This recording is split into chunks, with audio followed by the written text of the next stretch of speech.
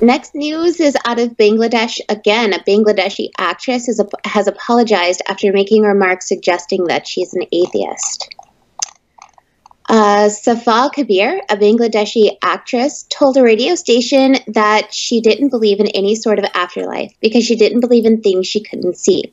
The footage of the interview went viral, and she faced a torrent of criticism in conservative in a conservative Muslim country. She issued an apology, insisting on Facebook that she is not an atheist, and her comments were misinterpreted. So, so guys, like this, this actually her backlash got so big that somebody came into our closed uh, atheist republic group um, and told all of us that we needed to ban this actress because she's an atheist. Right. So, so just to be clear, what Allie is saying, there, this she got such a huge backlash for saying that she's in, she doesn't believe in God. Such an, uh, you know, on social media, that so many people were going around all groups and you know chat groups, private groups, telling people to ban to ban this person because she's an atheist that they weren't even checking in which groups they were say they were accusing her of being an atheist. So even in atheist republic's group there was people coming like hey ban this person. She's an atheist. That's how that's how viral the backlash is going against her. People are like this is a group of nothing but atheists, atheists. and people are like did you do you know where you are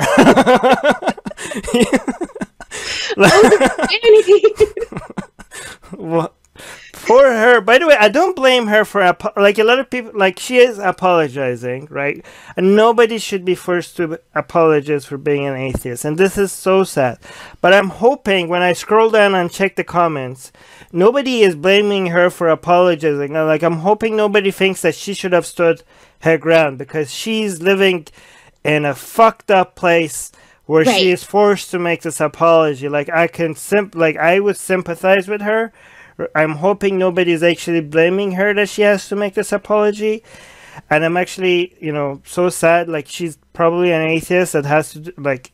It's so sad that she's even when somebody this, you know, she's famous. She's an actress and she's being open-minded. She could have been as, as a used as a role model for other atheists that feel lonely or especially Bangladesh where so many atheists have been so wronged in Bangladesh. This would have been such a you know such an inspiration if somebody could openly say this. You know imagine like when when a lot of uh, gay people saw you know celebrities openly announcing that they're gay. For a lot of them it really helped the normalization of it.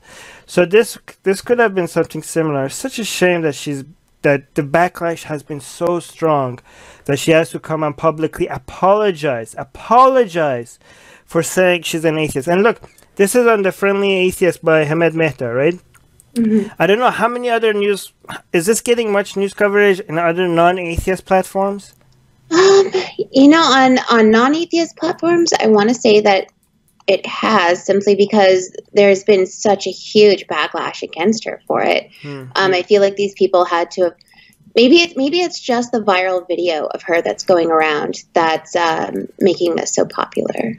Like I need this should get more more coverage because like imagine if somebody if the news was somebody somewhere in the world anywhere in the world came on TV and apologized for being a Christian or being a Muslim or being a Jew.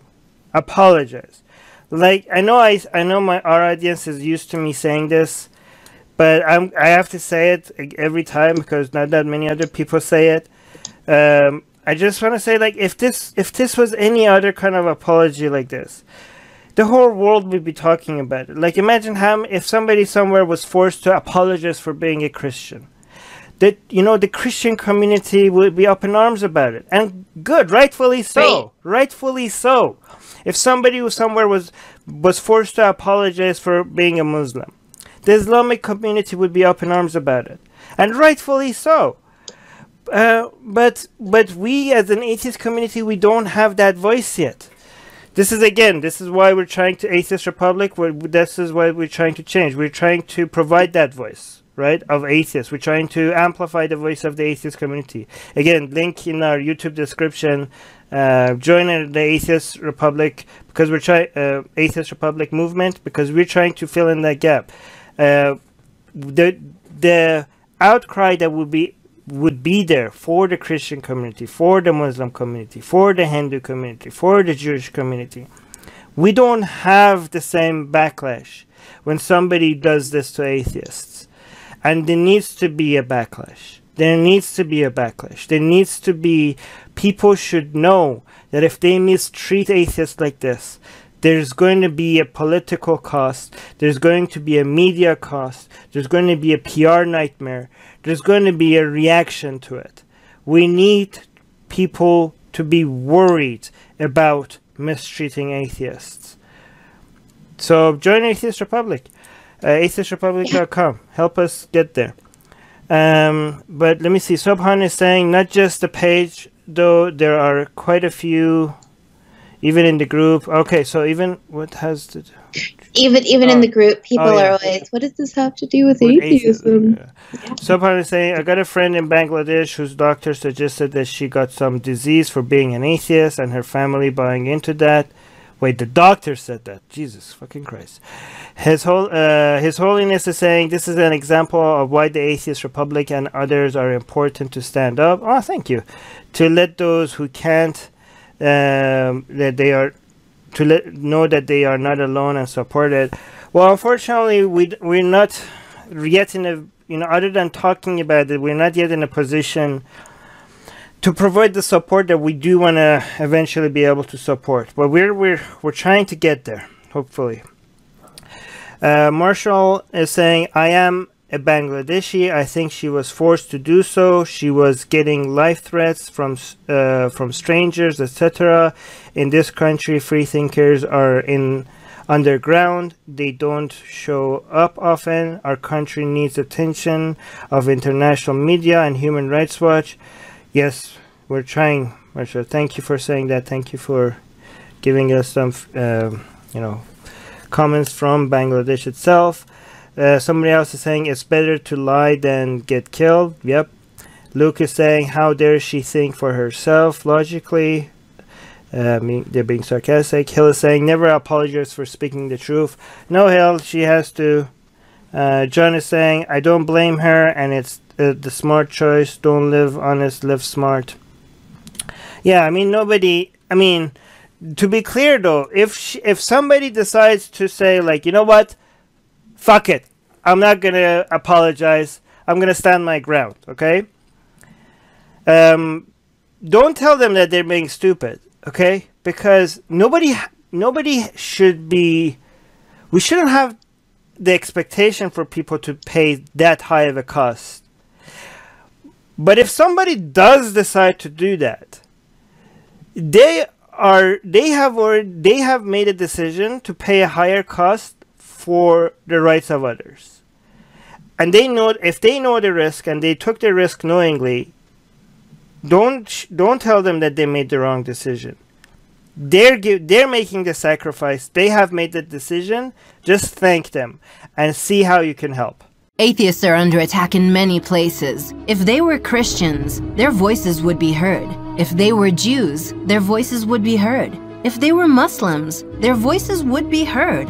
But they are atheists, and not many seem to be listening. Let's make it difficult for them to ignore us. We have built a global community, and now we are tearing down geographic, cultural, and language barriers so we can find each other and support each other. In the last decade, we have built the largest atheist community in the world. Now we're doing the same in other languages. With your help, we have started Atheist Republic in Persian and Arabic. انضميت مؤخرا لأسرة Atheist Republic وحيصير عندي بودكاست باللغة العربية. As we grow, we can dedicate more time, staff, and resources to start doing the same in Spanish, Portuguese, Malay, Bengali, Urdu, Hindi, and other languages. We are providing community, support, informative content, and amplifying the voices of those who need protection, especially in countries where people feel isolated simply for their lack of belief. We want to be there for them, and we are only getting started. Help us get there. Check in the description for ways you can support our projects.